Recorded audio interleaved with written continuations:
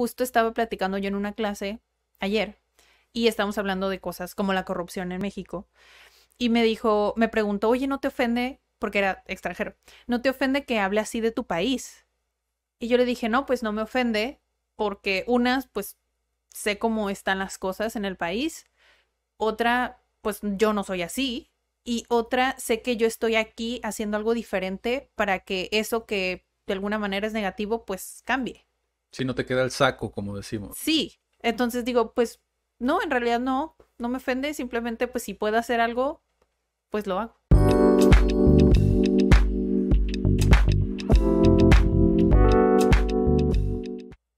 Ya no van a escuchar la broma que hicimos. No, ya. ¿O sí? Sí. No, porque ya borré el- la grabación pasada. ¿O sí? Hola, ¿qué tal? Bienvenidos a otro Cat Weekly más, el número 34. Me encuentro con Daniela Barrera. y Adrián Guzmán al micrófono. En esta ocasión nos vamos otra vez a terrenos culturales. Habíamos comentado en algún otro episodio que, que ya hacía falta como reaccionar a otro país. Ya reaccionamos a Bután, si no lo han visto. Bueno, reaccionamos al video de un blogger eh, que es Yes Theory, así se llama el canal de YouTube. Igual pueden ir a ver en, en- nos pueden ir a, es- a escuchar en YouTube, eh, CAT Centro de Aprendizaje y Desarrollo, o los que están viendo en Facebook, que es lo que decías en la toma pasada. Que nos escuchan más en Facebook. ¿Cómo? Que nos escuchan más en Facebook. Sí, que nos escuchan más en Facebook. Eh, también pueden ir a, digo, en videos en Facebook, ahí en la lista de reproducción de Sí. Cat Weeklies, ahí nos pueden escuchar. Eh, en esta ocasión vamos a platicar un poquito sobre, nos vamos a enfocar mucho, digo, tenemos un evento que se llama Cat Live, donde hacemos como un intercambio de idiomas, entre otras cosas platicamos pues sobre experiencias, sobre cultura, sobre incluso, digo, en este último me tocó hablar sobre emprendimiento con algunos de los miembros CAT eh, que se presentaron. Ellos no son de aquí de, de México, no son de Tijuana, aunque uno de ellos sí se siente muy tijuanense, pero no son de aquí de Tijuana. Y entonces estos eventos nos ayudaron para este video para platicar un poquito sobre nuestro país, ¿no? Cuestiones que muchas veces no se conocen, se desconocen. Justo antes de empezar a grabar estaba viendo un video sobre, pues, extranjeros que hablan sobre México, ¿no? Como las, las verdades incómodas, las verdades feas que tiene el país, que concuerdo totalmente con lo que dicen, ahorita vamos a platicar sobre eso, pero también existen muchas cuestiones positivas, ¿no? Eh, que es básicamente lo que queremos hacer hoy, resaltar las cosas positivas que tiene nuestro país, México, y también la cultura latinoamericana, porque sé que muchas personas latinoamericanas pues se van a sentir identificadas y van a, pues lo, lo van a sentir como cercano, porque también es una realidad que se vive en muchos países de O Latinoamérica. lo contrario, tal vez como las cosas que, que era lo que veníamos hablando por la mañana, que a veces hay muchas cosas que se pueden mejorar dentro de una cultura de un país, que a veces lo sentimos como un ataque, pero pues no necesariamente tiene que ser así, ¿no? O sea, o que te sientas ofendido que hablen de tu país cierta cosa, es como no te estamos atacando como directamente,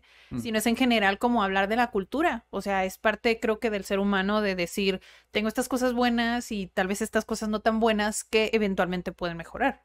Sí, hay, hay un, hay un dicho, no sé si sea eh, del norte o del sur o donde haya salido, pero prácticamente, bueno, a mí me lo enseñaron pues obviamente mis padres, ¿no?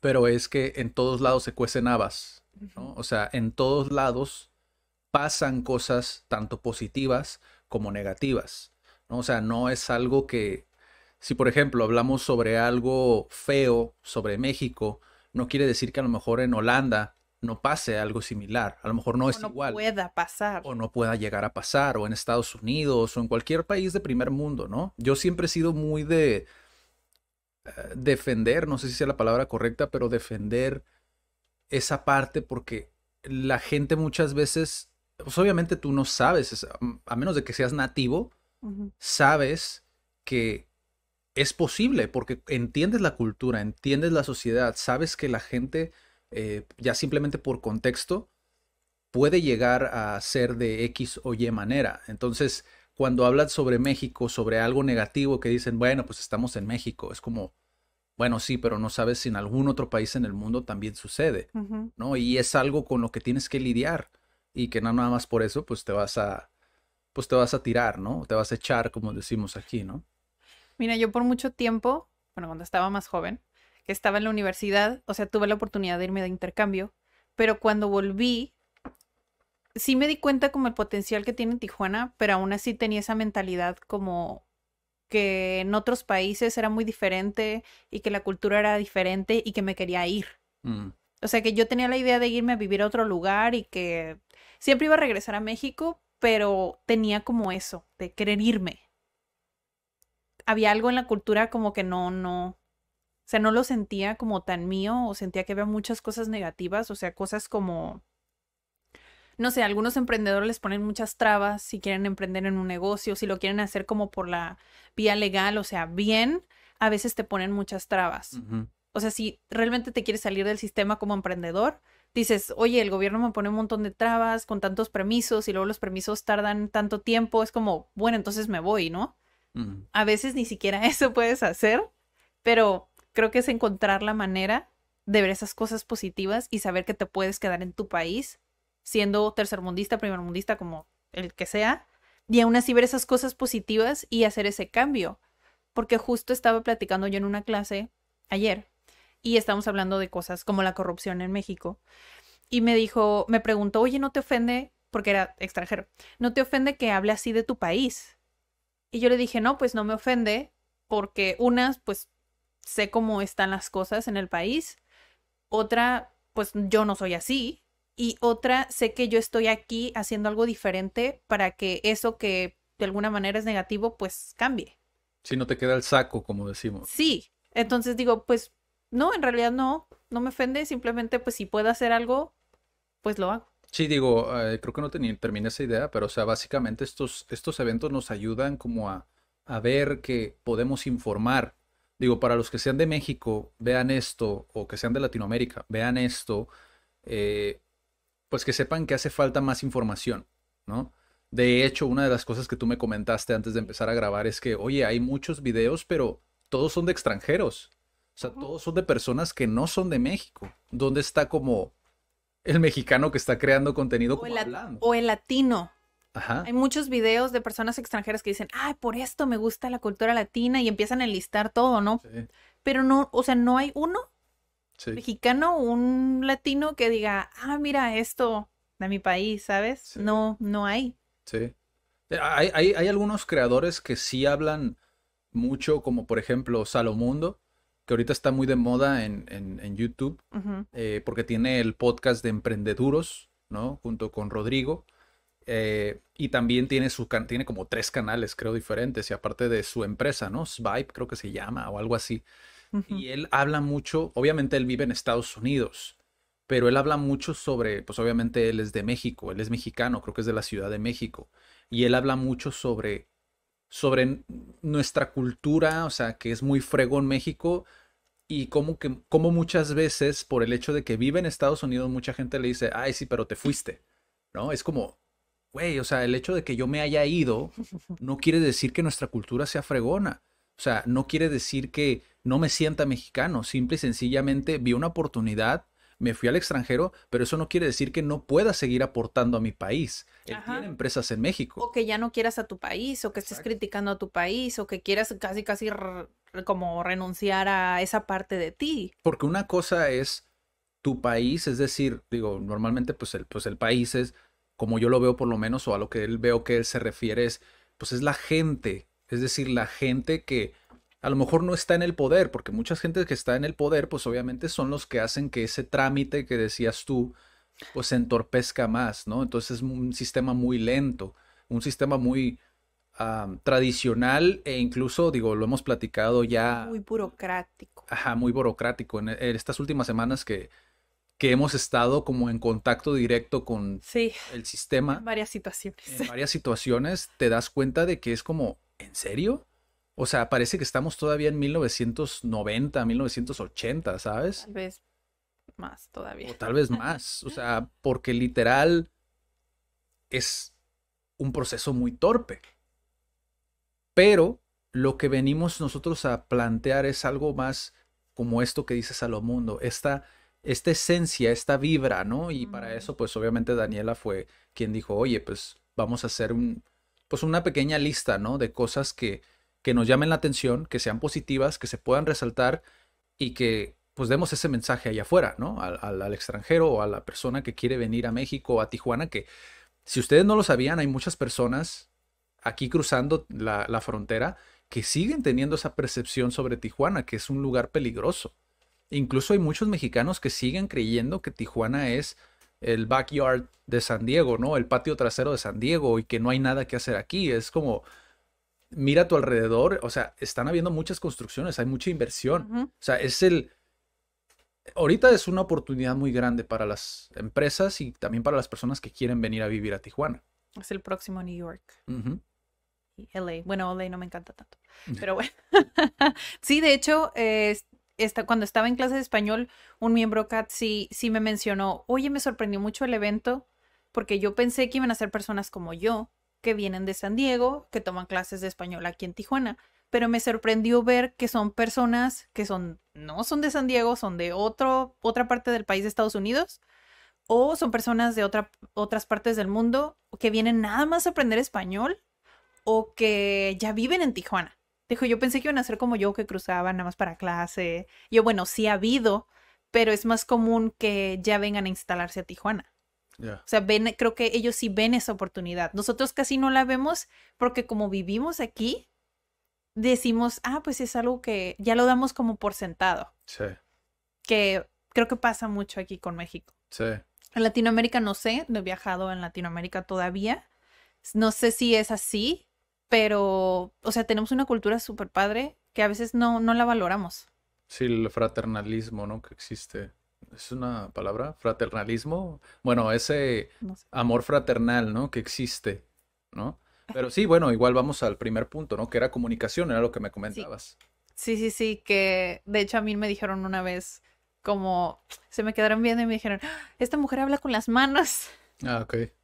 Y digo, sí es cierto, o sea, cómo nos comunicamos es súper interesante. Bueno, sí creo que en Latinoamérica es así. En México nos comunicamos de una manera muy diferente. O sea, incluso existe, somos considerados como países muy cálidos por incluso cómo nos comunicamos. O sea, desde el saludo, con besos, con abrazos, al despedirse también.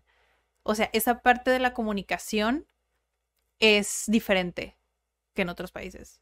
Bueno, Francia sí tiene como el de beso también, Italia también, Sí. pero aquí es hasta, hey, hey, mira, o sea, hasta to- tocas para, para hacer llamar la atención de la persona, no es como que nada más, ah, sí, mira eso que está allá, ¿sabes? Y su contraparte, ¿no? El, pues el continente asiático en general es como el opuesto, ¿no? Sí, allá no existe eso en lo absoluto. Aunque ya cada vez vivimos como en un, pues sí, eh, eh, ya cada vez es todo es más globalizado, ¿no? Como que se van adaptando muchas costumbres diferentes a través del, del, del mundo. Por ejemplo, una de las cosas que, que yo he notado mucho es que cada vez existen más este tipo de videos de, por ejemplo, coreanos reaccionando a México o rusos reaccionando a México X video Mm. o, ¿sabes? Como dices tú, wow, o sea, qué interesante porque a través del contenido, aunque sea entretenimiento, están reaccionando a la cultura que nosotros tenemos, ¿no? Eh, creo que yo vi, yo vi hace tiempo uno sobre unos, eh, unos chicos coreanos que reaccionaban a la música latinoamericana, ¿no? Y ellos decían que se les hacía como todo muy sensual, ¿no? Era todo, Mm. todo tenía que ver como con lo sensual, como muy caliente, ¿no? Como Ajá, sí. lo que piensan, ¿no? Y se me hizo muy interesante porque digo, a final de cuentas, digo, si existen ese tipo de videos, eh, porque muchas veces caen en el estereotipo, ¿no? O sea, piensan en el estereotipo rápidamente, pero no lo analizan más a profundidad o no ven más contenido a profundidad. Posibles figuras como Salomondo. O sea, muchos no llegan hasta ese punto en el cual pueden aprender Sí. más a profundidad, ¿no? Sí, porque ahorita la cultura latina es como, ay, pues el reggaetón Ajá. o estas baladas románticas, creo que ya no, y- o las novelas. que son así bien intensos y que sí somos muy intensos, pero ese es otro punto. o sea, creo que no hay como algo diferente y eso es lo que me gusta de, de México, al menos. En otras, en, ot- en inglés no, creo que no. O sea, no hablo como con las manos o... Sí hay gestos, son muy como... Sí hay gestos, pero en sí de manos y que haya más como contacto físico, no hay. Ya, Y aquí sí. sí. Pero creo que se relaciona con el otro punto, que es como, pues somos muy apasionados. Sí. A veces, yo recuerdo una vez que, que sí me preguntaron, oye, ¿de dónde eres? Estando en otro lugar, ¿no? Y yo dije, ah, pues soy de México. Y dijeron, uh, México. Y yo, pues es México. Porque lo dicen así, ¿no? Pero sí nos ven como exóticos, que realmente no sé por qué nos ven tan exóticos. Por la fiesta, puede ser. Pero es que ¿dónde estabas? En Francia. Ah, es que creo que creo que lo dijimos incluso en un episodio, ¿no? Como entre más lejos se encuentre como del del punto de referencia, o sea, del país, más exótico se vuelve. Para nosotros, por ejemplo, el continente asiático es algo que lo hemos visto en muchos miembros CAD. Es como es mi sueño ir a Japón. Bueno, sí. Curiosamente es el país más alejado, ¿no? El que vas a viajar como 20 y no sé cuántas horas para poder llegar. Son menos, son menos, son como Bueno, 14 creo. Estoy exagerando para, Pero no hay tanta diferencia. para darle dramatismo al, al asunto. Pero bueno, es que yo había escuchado eso. Pero, o sea, es el país de los países, o sea, más lejanos que. Si es vuelo directo, sí. Pero casi siempre te hacen hacer escala, bla, bla, bla. Y sí hice un viaje como de 24 horas. Ya le diste menos dramatismo al punto. pero Ah, Quería demostrar el. Pero sí, o sea, e- es. Entre más lejos se nos haga, más normalmente es el, el, el- el deseo por querer estar en ese lugar, ¿sabes? Bueno, aunque a mí me ha llamado Japón también, pero no por el motivo que normalmente le llama a la gente, ¿no? O sea, a mí me gusta mucho la ciudad como tal, Tokio, ¿no? mm, Como el... No sé, es, es mucho como de... Sí, pues soy un... Más un chico de ciudad, ¿no? Ajá, tú Sí, eres. me gusta mucho como el saber cómo se vive ahí. Al contrario, Londres, por ejemplo, nunca me ha llamado la atención. Es muy frío. No sé. Me gusta Pero creo clima. que lo cool. Sí, sí, su clima está súper cool. encanta el clima de... Pero México tiene así de, de todo. El otro día me encontré un TikTok donde decía, no, como que México, este. Y de verdad México tiene de todo. Es como, sí, sí, tiene de todo. O sea, tiene bosque, tiene selva, tiene ríos, tiene mares, diferentes mares. Eso yo también lo veí, lo vi en un, no me acuerdo quién, un extranjero que mencionaba eso, como, ah, justamente Lethal Cri- Cris- Crisis, ¿no? Crisis. Que es el, el blogger este español, eh, Rubén, Rubén Díaz creo que se llama. Él, él comentaba eso, o sea, le preguntaba a este chico, el de creativo, se me olvidó su nombre, Roberto, le preguntaba a Roberto, ¿no? Como, oye, pero ¿por qué México? O sea, ¿qué tiene México, no? Y dice, es que México es muy grande y normalmente encuentras mucha diversidad, como de regiones. O sea, vas al Mucho. norte y encuentras desierto, vas más acá, tropical y, y así, o sea, costa. O sea, tienes mucho, mucha variedad, diversificación. Y es algo que muchas veces el extranjero, simplemente en Tijuana, lo hemos platicado, los que vienen del extranjero a Tijuana conocen Zona Río, que es donde estamos, Ajá. que le llaman la zona dorada, ¿no? Zona Río y Cacho, que son las dos colonias como más, pues sí, las más Populares. económicamente el- también son de las más, las que más brindan, ¿no? Como a Tijuana, pero no se van más allá, o sea, no conocen como esas pequeñas gemitas, ¿no? Que existen alrededor de Tijuana y que muchas veces los extranjeros no le dan esa oportunidad Ajá. a la ciudad, ¿no? Imagínate en la ciudad. Sí, de hecho creo que Tijuana es la que menos, la que menos considerarían, creo que por esa falta de información, porque es lo que te decía, o sea, en México hay de todo, o sea, campo también, playas, eh, ciudades súper desarrolladas, pero como que a veces a Tijuana le hacen así como el, ay, es que Tijuana es, es como muy peligroso, ¿no? Ujú. Ya si te vas a los que no saben absolutamente nada, dicen México, ya dicen, no, México no. Sí, Pero Tijuana creo que sí hay muchísimo que rescatarle, especialmente aquí. sí, O sea, muchísimo, porque, o sea, Tijuana está en la posición donde tiene frontera con Estados Unidos, tiene playa, si quieres, a 10 minutos. O sea, si a 10 minutos, también, bueno, 20, también te puedes ir al valle, te puedes ir al campo si quieres, y puedes estar en la ciudad también. sí. O sea, creo que tiene muy, muy, muy buena posición. Así Sí, de, si sea- quieren venir de vacaciones. A mí se me hace muy interesante como la gente, sobre todo son los mochileros en muchas ocasiones, ¿no? Que se hacen amigos de los, pues de los nativos, ¿no? Que se hacen amigos y de cierta manera, digo, cuando haces eso y confías en la persona, creo que un nativo te puede dar el mejor tour que puedas tener como la ciudad. Por ejemplo, el, el ir a una experiencia, creo yo, tijuanense son los swap meets, ¿no? O sea, el hecho de ir, conocer como toda esa, ¿cómo decirlo? Como toda la, la cultura, pero sí, o sea, como todo el... pues eso exótico, ¿no? Que le llaman, ¿no? Que lo hace raro, ¿no? A Tijuana porque es una mezcla entre el sobre ruedas mexicano, ¿no? Que es el tianguis, normalmente al sur. Que es el mercadito que está en la calle. Ajá. Es como una extraña combinación con el que conoces en Estados Unidos, ¿no? Que es el flea market, Flea market. ¿no? Que es como eh, el swap meet que ves aquí, por lo menos en Tijuana, es muy, muy curioso por cómo está construido, vaya, ¿no? Mm. y que tiene esa esencia, esa, ese algo, ¿no? Que, que, que caracteriza, creo yo, a Tijuana. Sí. Sí, También sí, lo creo puedes que encontrar en, en Tecate, por ejemplo. Ajá. Sí, pero creo que eso, eso ahí se- es como los pequeños emprendedores, ¿no? Ajá. O sea, ahí están los pequeños emprendedores donde te das cuenta que dices como, wow, o sea, de verdad hay gente que era lo que platicábamos el otro día, ¿no?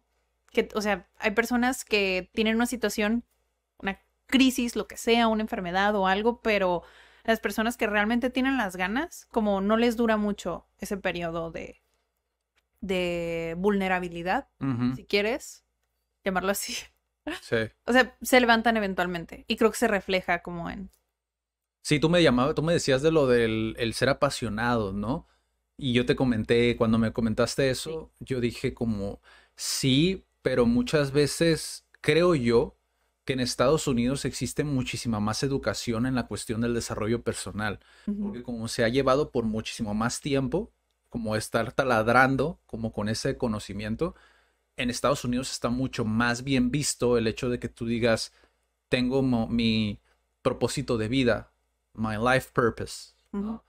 A que tú lo digas aquí en México. Aquí en México te ven raro. El simple hecho de que digas, tengo su- un- mi sueño es hacer esto, lo ven como de telenovela. O sea, Sí. te ven como el bicho raro. Para ellos el ser apasionado por alguna extraña razón, igual díganme en los comentarios si son mexicanos, a lo mejor no lo piensan así, obviamente existen excepciones, pero por lo menos lo que yo he visto, el ser apasionado, lo vinculan más con el, los deportes, ¿sabes? Sí. Con el fútbol, Sí, el soy un apasionado y muchas veces creo que ese es un, un- algo que nos detiene mucho, que nos frena mucho a hacer las cosas porque es una pasión, creo yo, mal canalizada, porque a menos de que tú vayas a ser un jugador de fútbol.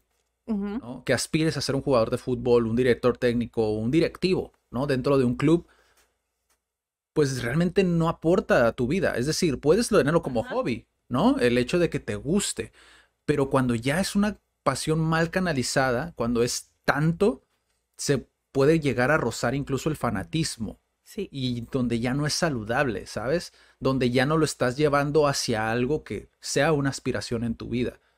¿Sabes? Como el hecho de, a mí me pasó el ver todos los juegos los fines de semana y dejar de lado como lo que me gustaba hacer o como lo que quería hacer, a lo que me quería Ah. dedicar, ¿sabes? Cuando Sí. ya interrumpe como ese flujo de tu vida es como ya se vuelve algo peligroso y es cuando se vuelve algo, pues algo creo que no tan positivo para tu vida, que no te aporta tanto. Creo que lo que somos mucho aquí en México, que muchas veces creo que se confunde con apasionado, es que somos muy buenos improvisando Sí. y haciendo poco con mucho, ¿sabes? O sea, Que puede ser bueno y puede ser malo también porque justo veníamos hablando como de, oye, las calles aquí, este, no te van avisando si hay como una reparación en una calle o algo así, o sea, no te avisan porque, no sé, yo creo que confían tanto en nuestra habilidad de improvisar o de reaccionar tan rápido que es como, ah, pues aquí, o sea, ya. Que igual no pasa eso en otros países. Es como, no, un kilómetro, en, en 500 metros, en 100 metros, sí. y aquí no. Sí, el- este, esta, pues digo, esta habilidad a final de cuentas que se ha tenido tanto, yo lo viví por mucho tiempo en un negocio familiar. que era mm, improvisar, era el pan de cada día, ¿no? O sea, era de hacerlo todos los días. O sea, el Sí. estar improvisando y el, hijo, le salió un problema. Tiene esta habilidad de solucionar problemas con lo que tienes a la mano, ¿sabes? Y, y creo yo que pues de ahí surgieron mucho el término este, ¿no? Mexicanadas, el hacer mexicanadas, achicanadas, ¿no? Yo lo conozco como Tijuanadas, ¿no? chica- chicanadas. Sí, yo Chicanadas. achicanadas, fíjate. Chicanadas. Que quiere decir así, slang. Sí, Esta es la jerga que se le es una palabra que se le da a algo que adaptaste, que modificaste, que arreglaste de alguna manera que no se supone que es la, correcto. la correcta, ¿no? Pero igual buscaste una solución. Sí, es adaptarlo. Es una achicanada. Sí, nosotros, o sea, yo recuerdo, o sea, cuando yo trabajaba en mecánica. ¿no? Y hacíamos estas eh, chicanadas o chicanadas, como quieran llamarlo, eh, pues obviamente tú tienes piezas que van dentro de un dispositivo, ¿no? Estas piezas nosotros las inventábamos con lo que teníamos, pero lo probábamos, es decir, sabíamos que eso iba a resistir o iba a aguantar. O sea, son cálculos que son tan complejos, pero lo haces con lo que tienes a la Sí. mano, porque es, pues, básicamente, pues, lo que te puedes permitir, ¿no? Lo que tienes, lo que se te provee.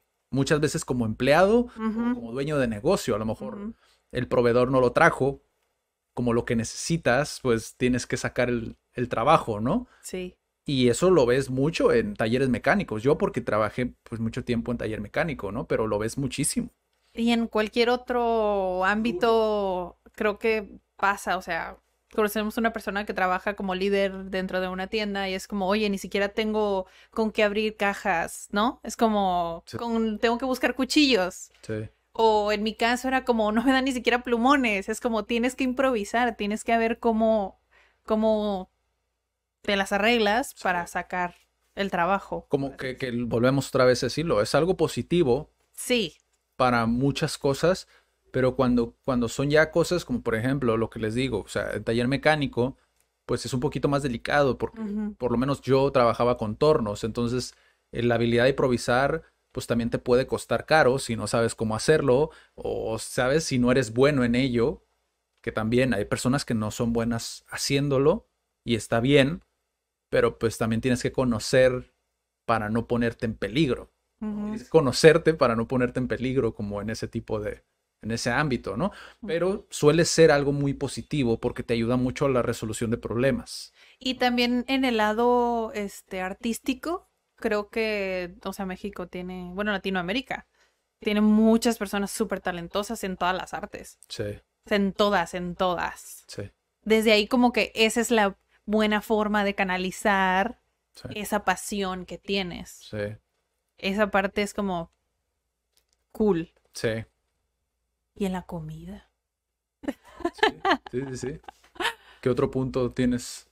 Eh, este me gusta mucho. A ver, Porque es la cultura, igual se, se relaciona un poquito con el primero, que es la comunicación, que decíamos que son países como que cálidos.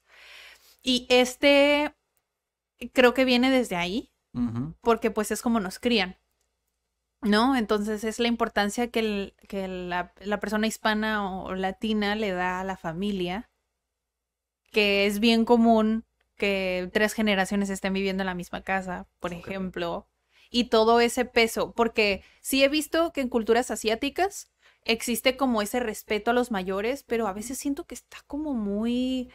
eh, forzado. Como muy forzado, exactamente. O sea, como que, ah, sí, porque este es, es un pelado porque me contestó, ¿sabes? Lo hemos visto. Sí, de hecho lo acabamos de ver en una Sí. serie. Que aquí siento que no pasa. Simplemente le das el respeto a las personas mayores, incluso. Pero en mi caso, eh, los abuelos siempre son como los referentes, como, como los dueños del reino, ¿sabes? Incluso hace poquito eh, estábamos en un convivio familiar y yo recuerdo porque ahora ya nada más me queda un abuelito.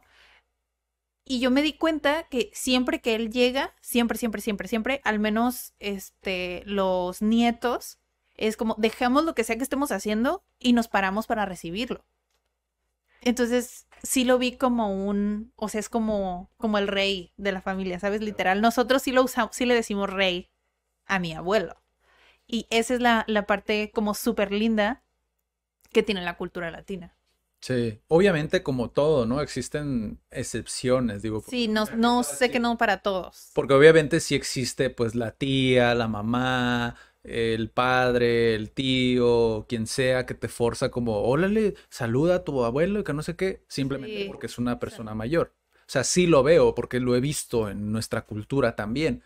Sí, ese Pero- peso. Pero normalmente como se construye, digo, para los que han visto la película de Coco, por ejemplo, ¿no? Sí, Como se construye como de generación en generación, como que tienes muy arraigado el yo soy un López, ¿sabes? Por ejemplo, soy un tal, ¿sabes? Como tu apellido. tu, tu orgullo es tu apellido, ¿sabes? Como que tiene mucho peso, como el hecho de, te lo, pues sí, te lo van taladrando, ¿no? Por muchos años, desde que eres pequeño. Y obviamente habrán familias que no, pero en el folclore, era la palabra que estaba buscando hace rato, en el folclore como mexicano, así se utiliza, o sea, así se lleva, o sea, como incluso nosotros que somos de Tijuana, imagínate ahora más al sur, al centro del país, pues obviamente se tiene muy, muy arraigado. Y sí, que vivan en una pequeña casa muchas personas es muy común, Muy común. cosa que por ejemplo en Estados Unidos, No pasa, no. hace seis años más o menos aproximadamente, yo había visto una noticia de que muchas personas, muchos jóvenes estaban este, cometiendo suicidio en Estados Unidos por depresión. Y decían, comentaban que una de las posibles causas, nada más que no vi el, obviamente no vi el estudio en aquel entonces, Ajá. una de las posibles causas podía ser el hecho de que, se, que estuvieran solos, ¿no? O sea, vivías solo desde una edad muy temprana y pues obviamente es algo como muy traumático para algunas personas hasta cierto punto el hecho de ya no estoy con mi familia, Mm, estoy por mi cuenta, estoy solo. sí, solo. Ajá, y, y se utiliza mucho, o sea, es tradición en Estados Unidos el hecho de que tú te salgas a los 19, 20 años, Sí, ¿no? no, a los 18. A los 18, 19, 20 años, porque algunos sí duran. Ya ves, viene mi tono de a los 18, bien joven, bien pollito, diría mi mamá. Sí. Y eh, hay casos obviamente excepcionales, como por ejemplo T. Harv Eker, que es el autor de Un secreto de una mente millonaria, algo así. Se me olvidó hasta el nombre del libro, fíjate, tanto que lo decía antes. Pero él, por ejemplo, decía que él a sus 30 años, si mal no recuerdo, 35 años, no recuerdo exactamente la edad, tuvo que volver a casa, tuvo que tener el, el- la deshonra de volver a la casa de sus padres. Vergüenza. Ajá, porque no, no podía ya pagar el alquiler de su departamento, estaba quebrado. Y hay muchos jóvenes estadounidenses, Gary B. lo dice, Gary Vaynerchuk Ajá. lo dice también, o sea, hay muchos jóvenes de 30, 35 años que no tienen para pagar el alquiler, se endeudan porque prefieren eso a volver con sus padres y lo ven como una derrota. Sí. Cosa que yo sé, muchas personas ahorita pueden pensar, bueno, pues en México también pasa, sí pasa, pero es más común que la persona, el tío, eh, la otra tía o, ¿sabes? Como que la familia vivan todos juntos, o sea, vivan unidos todos en un mismo lugar. ¿no? Sí. Se da mucho. Mucho. De hecho, justo estaba pensando que siento que es un poquito más criticado el hecho de que la mujer no se case a que el hombre no se case. Ok. ¿Sabes? Es como, ah, ya solterona, ya de que- quedada. Sí, Es más criticado el hecho de que ella no encuentre una pareja a que un hombre no encuentre una pareja. sí. Por eso creo que es como un poquito más aceptado, creo, como que las mujeres no aceptan, sí y no, como que el hecho de que sea así, a veces dicen, bueno, pues está bien que mi hija viva en mi casa porque pues como se, se quedó, pues está bien. Pero el hombre no, el hombre es como es, es el hombre de la casa, cómo se va a quedar, Cada ¿sabes? uno tiene sus, sus, Tiene sus, sus, ajá, sus issues, porque por ejemplo el hombre, como se tiene la percepción en la cultura mexicana, pues obviamente es el proveedor. ¿no? exacto. Muchos lo ven así, entonces Mucha, mucha cultura todavía es ah, así. si de tú- nuestra generación. si tú, por ejemplo, no te casas como hombre, ¿no? Pues obviamente es- dejas de ser un proveedor Ah, de ex- cierta manera, entonces sí tiene su peso. Sí, Muchos sí cargan con ese peso de, pues no estoy siendo un proveedor como se esperaba de mí, esas expectativas, ¿no? Que se ponen como en, en el género, dependiendo mujer o, o hombre, se ponen esas expecta- expectativas y pues sí, de cierta manera, pues suele ser un poco más criticado en Estados Unidos, es verdad, o sea, por lo que Sí. comenté, porque si es de, el sistema está diseñado para que tú te salgas de tu casa, tú te endeudas con un carro, ¿no? Porque normalmente te meten el carro desde los 18, 19 años y es como ya lo debes, entonces tienes que trabajar. Es por eso es que mucha gente dice, bueno, pues es que en Estados Unidos está mejor. Bueno, pero que no sabes cómo funciona el sistema. Pero hay muchos que no están listos, no saben cómo gestionar sus gastos, no saben ahorrar, no saben en qué invertir. Entonces, en este sistema se endeudan hasta el cuello y en la parte de salud mental no están No están ahí todavía. ¿no? O sea, no están acá arriba, ¿sabes?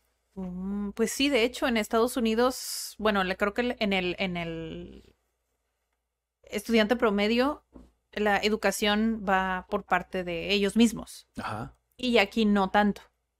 Aquí siento que como que el mismo tipo de, la mismo tipo de persona, la educación va por parte de los papás. Ah, ok. Como en mi caso, por ejemplo, yo la mitad de, de la universidad la pagué yo, pero la otra mitad mis papás. Pero no era obligación que yo lo hiciera. O sea, si yo decidía no hacerlo, ellos hubieran pagado mi universidad. Ok. Entonces siento que aquí es más como un, pues te doy las herramientas para que tú puedas tener una vida profesional y en Estados Unidos es como al revés, es como, tienes 18, si quieres vivir por tu cuenta, pues dale. ¿Sabes? Es como yo te doy hasta aquí y si te quieres ir a endeudar con una universidad, tú hazlo. Porque sí he escuchado mucho en la cultura estadounidense, más no sé qué tan, tan común sea que los papás ahorran desde que eres muy joven También pasa. para, para después hacer este fondo universitario, ¿no? Ajá. Sí, algunos sí, otros no. Y así, así. De hecho, hay muchas bromas, pero no sé por qué lo hacen. Tal vez es como ese tipo de cosas que no se habla. Muchos dicen en películas, ¿no? Es como, ah, elegimos al preferido y lo mandamos a la universidad. Ah, se hace mucho esa broma, sí. No sé por Sí. qué. Pero sí, sí, tienden a hacer mucho esa, esa broma. Sí. ¿Qué Así otro es. punto tienes? Esos eran mis tres puntos. Ok, Eh, la comunicación, en cómo somos tan cálidos al comunicarnos. ok. lo apasionados que somos, que creo que tiene mucho que ver. Y este valor, este peso que le damos a la, a la familia. Pero quería hablar más que nada como las cosas positivas, Sí. porque, o sea, siento que eso era lo que te decía al principio, ¿no? Como que no valoramos lo que tenemos y vemos, nos quejamos a veces del gobierno, eh, del vecino, del tráfico. Entonces no vemos como esas pequeñas cosas que tenemos y que hay que agradecer. Sí, digo, porque obviamente, digo, podríamos hablar de muchas cuestiones que podríamos mejorar, ¿no? Como Sí, como muchas. cultura, como país, ¿no? No nada más México, sino Latinoamérica, ¿no? Sí, tenemos cosas súper padres y si vamos nada más con el turismo, tenemos una mejor posición geográfica. Lo siento, otros países. Sí, porque tú mencionaste antes, ¿no? Cuando estabas como viendo la parte de los puntos, mencionaste algo sobre el hecho de que somos súper honestos, ¿no? Que muchas Sí, veces... pero no. O sea, sí, sí, pero no, porque también socialmente estamos muy condicionados a mentir, ¿no? O sea, se nos pide mucho en muchas ocasiones que mintamos por no hacer sentir mal a la otra persona, ¿no? Sí, ahí somos un poquito parecidos a los japoneses, que es como, no, pues a la fiesta no digo que no, sino más o menos ese día digo que tuve algo Ajá. y ya, ya Sí. me excuso de que pues no fui. Sí, y a los ojos de un extranjero, por ejemplo, estadounidense, pues sí puede notarse como que somos muy honestos, pero en ocasiones Mm, no lo estamos siendo, o sea, estamos poniendo excusas, ¿no? Yo lo he hecho, pretextos. lo he hecho en muchas ocasiones, pero pues, obviamente es, es un mal hábito que tenemos que dejar de hacer, ¿no? Y, y esa, eso, por ejemplo, lo aprendes de, de diferentes experiencias, ¿no? Por ejemplo, a nosotros nos tocó, pues, como ya lo dijimos en algún otro Cat Weekly, nos tocó tener lengua de señas mexicana, ¿no? Ajá. Y dentro de, bueno, cuando conocimos al guía que estaba impartiendo el curso, él, er- él es sordo, ¿no? Y él realmente sí era honesto, o sea, ahí es donde conoces, Ahí no había filtro de nada. ahí sí realmente conoces lo que es la honestidad, cuando conoces a un sordo, porque ellos no entienden de, del sentido figurado, ¿no? El hecho de que tú utilices como como analogías o cosas similares, juegos de palabras, o sea, como que no lo asocian como nosotros lo asociamos, ¿no? Recuerdo que nos pusieron el, el ejemplo de ella se puso su abrigo, ¿no? No sé qué, y que simulaba la canción de una manera que es como, ah, pues la están abrazando, ¿no? Ah, Y ok. para él era como, pues, ¿cuál abrigo, no? O de Oh, ok, ¿no? la palabra abrigo como el hecho de... a tu abrigo, Sí, tener no abrigo. literalmente el abrigo del la- el saco, sino el abrigo de apoyar, de, de estar ahí, ¿sabes? Sí, sí, sí. O sea, obviamente para nosotros pues tiene sentido, pero ahí es donde de cierta manera es un poco diferente, que por ejemplo el mundo de la lengua de señas mexicana es otro totalmente diferente, ¿no? Que es otro mundo. Sí. Para los que son extranjeros también y que les llame la atención, eh, mm, recuerdo que hice un comentario en, un, en el Can Live sobre eso y me preguntaban, oye, pero ¿son diferentes en cada estado? Uf, Porque hay muchas personas que no saben eso. O sea, tú escuchas lengua de señas mexicana dices, es una. Ajá, y tú piensas que es para todo el país, pero realmente es, cada estado tiene sus variaciones, ¿sabes? Sí, pues creo que es igual que el español, o sea, no es lo mismo, por ejemplo, aquí decimos eh, encuerado Ajá, y es que no traes ropa. ajá. Y en, creo que es en Sinaloa, no me maten, Sinaloa, eh, dicen bichi. Ah, sí. En, creo que en Nayarit también. Ceviche es que no trae ropa, Ajá, anda bichi. Bichi. Y aquí es encuerado. Ajá. Igual tiene, puede tener dos significados porque es que traes ropa de cuero, pero, Sí, pero es más común que sea encuerado que sea que no traes nada de ropa. sí. Y creo que en otros eh, estados eh, el mismo significado es otra palabra. Ya. Entonces es exactamente igual que el español. Cambian Fíjate- diferentes palabras. Fíjate que por, por como hemos venido haciendo los Cat Weeklies, pensé que lo ibas a mencionar, pero no lo mencionaste, así que lo voy a hacer yo. Sure. en la cuestión de que México también un lado positivo que tiene para muchos extranjeros y que también nosotros como nativos deberíamos quizá a lo mejor apreciar un poquito más esa parte, que así como nuestro sistema es muy lento, ¿no? Y muy torpe en ocasiones, también eso nos permite en muchas ocasiones no estar en este estado todo el tiempo de competitividad, ¿no?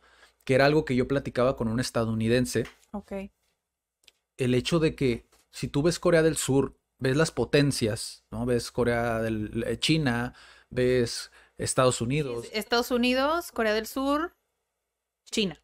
Ajá. Creo que esos serían los que tienen más esa presión. Sí, tienen mucho esta, esta presión. Obviamente Rusia también está ahí en la batalla, pero Rusia es del que menos conozco, honestamente, porque no Porque lo no hay he, tanta información de Rusia. Bueno, no lo, sé- no lo hemos estudiado. no lo he tanto. estudiado realmente, no, no ha sido como mi prioridad todavía, como estudiar Rusia, aunque me gustaría hacerlo.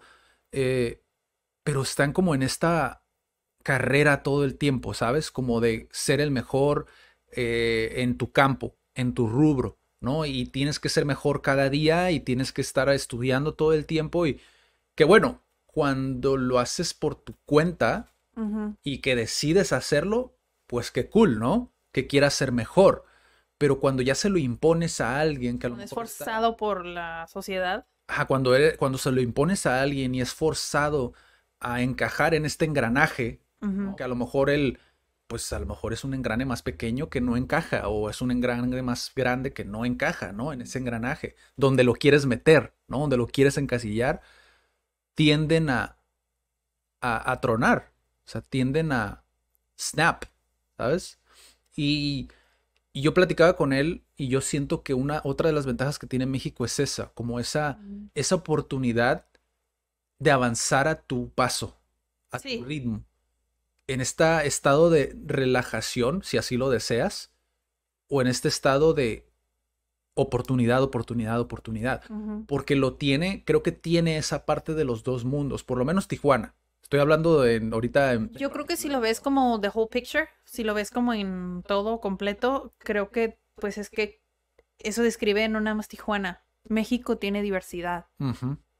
Lo que es casi, casi a lo que sea que te quieras dedicar, pues México lo tiene, porque puede producir un montón de cosas, porque puedes estudiar un montón de cosas, por la posición que tiene, pues. sí, Entonces creo que tienes esa opción, esa diversidad de elegir casi lo que quieras. sí. Casi. Sí, él, él me comentaba como O sea, pues obviamente me dijo que sí, ¿no? Y me dijo como que necesitaba un descanso de Estados Unidos. O sea, por esa, por esa razón, pues prácticamente, porque, o sea, todo el tiempo tienes que estar alerta, ah, porque digo, para empezar, el otro día estaba haciendo una investigación en una de oficinas en San Diego, en el centro de San Diego. No me pregunten por qué, a veces así random me pongo como a ver ciertas cosas. random. Y vi una sala de juntas, o sea, en el centro de San Diego, una sala de juntas. Por hora te cobraban arriba de 150 dólares. San Diego. En San Diego. Ahora imagínate vivir o sea, si tu posición geográfica es como ahí cerca, es como cuánto tienes que pagar. Sí, porque San Diego es de las ciudades más caras del mundo, creo. Y nosotros, por ejemplo, aquí en Tijuana, tenemos ese estándar, aunque si tú te vas a, Texas, por ejemplo, que era lo que me decías, pues más o menos es como vivir aquí, aquí ¿no?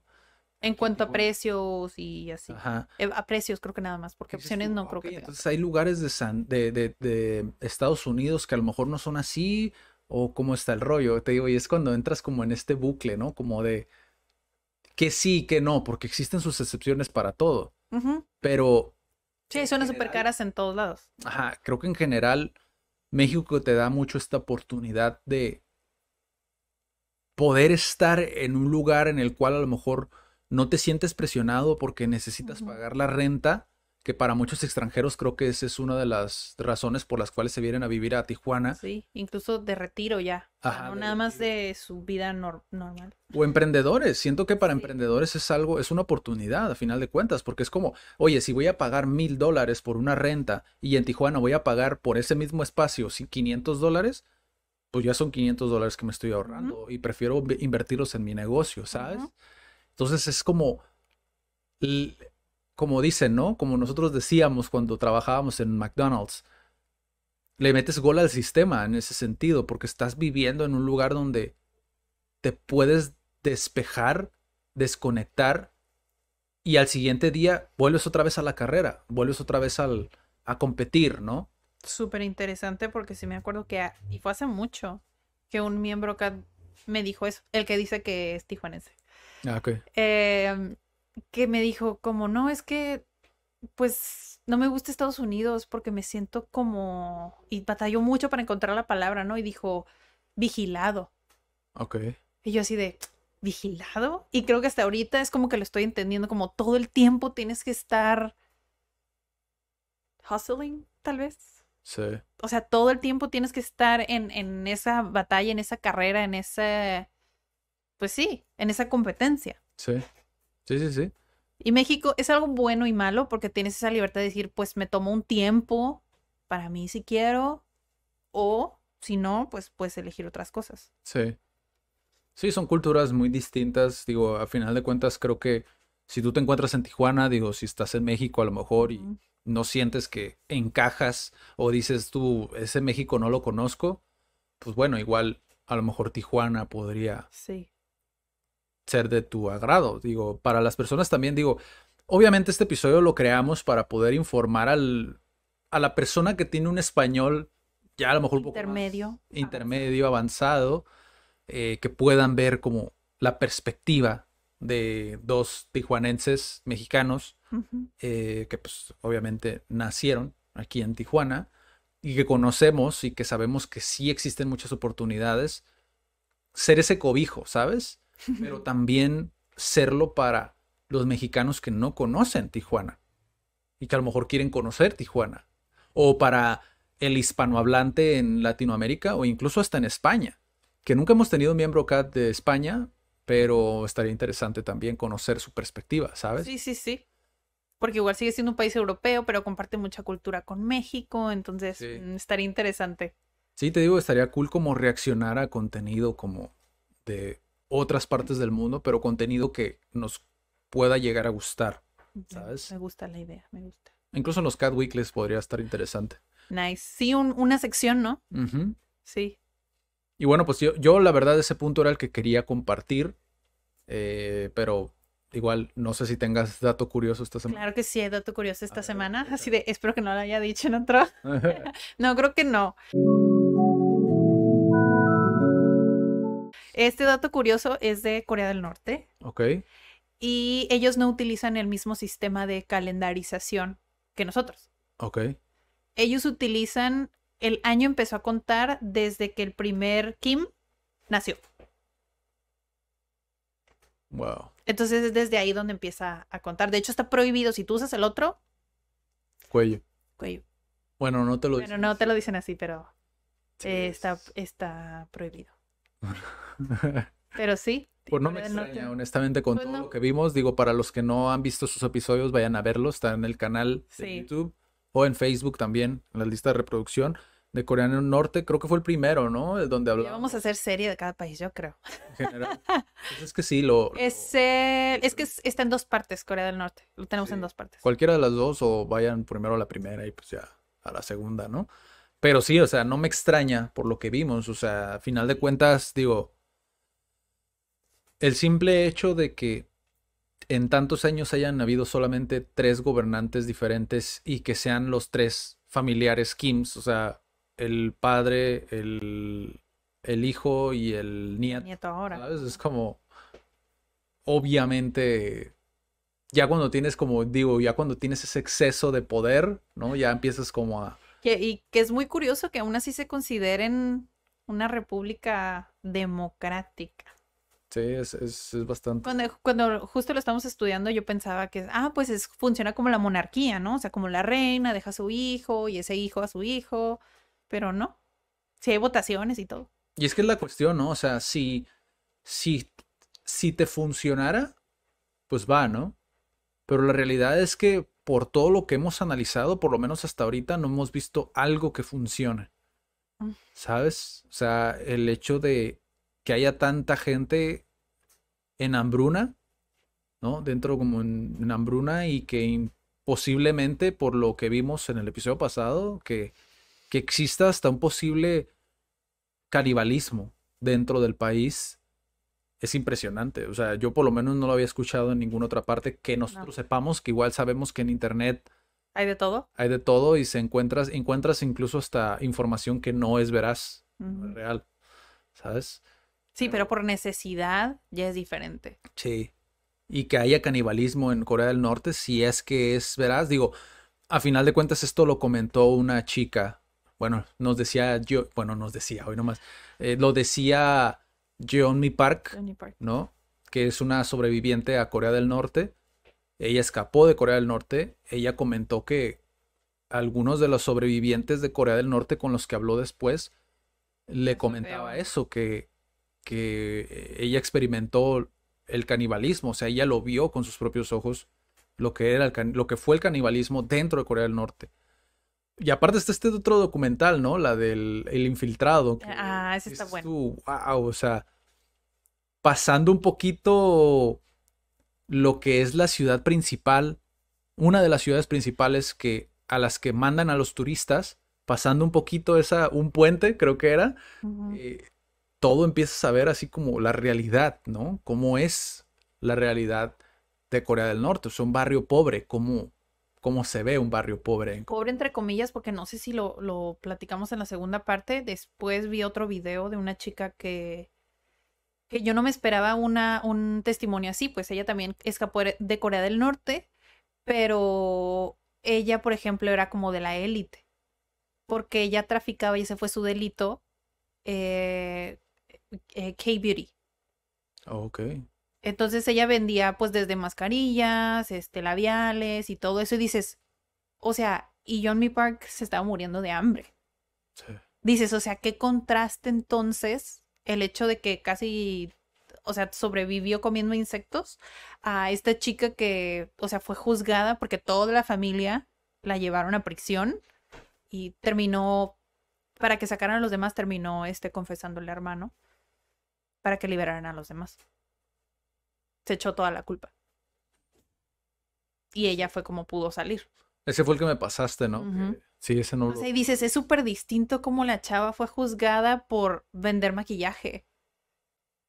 ¿Sabes? Sí, Que es como, es otra, es otra historia, porque, o sea, también por eso fue juzgada, fue torturada, fue de lo que no te imaginas. sí, Por eso. ¿Qué dices aquí? Pues, pues vendo maquillaje, ¿sabes? sí. Súper diferente. Sí, es que para ellos todo signo de capitalismo es algo... Sí.